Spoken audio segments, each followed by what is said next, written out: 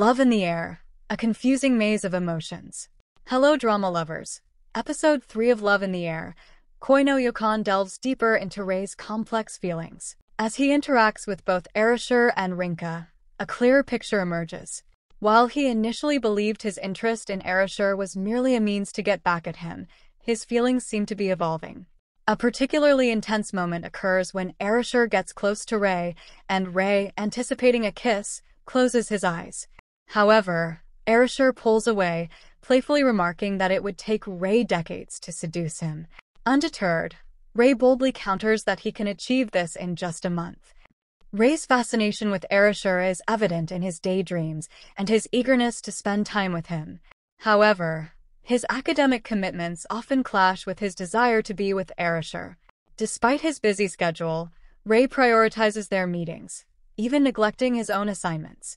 Arashi, recognizing Rei's dedication, reciprocates by taking him out for dinner and offering him his visiting card as a means of communication.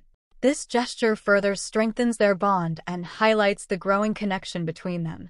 However, Rei's academic negligence eventually catches up with him.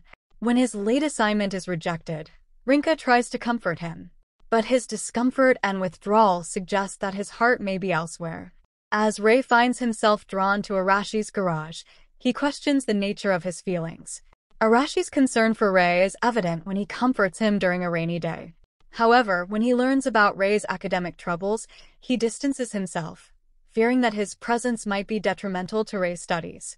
This unexpected turn of events leaves Rei bewildered and heartbroken. The episode concludes with a cliffhanger, leaving us to wonder how Rei will navigate this complex emotional landscape. As the series continues to unfold, we can only anticipate more twists and turns in this captivating love story. That's all for the video. See you next time, take care.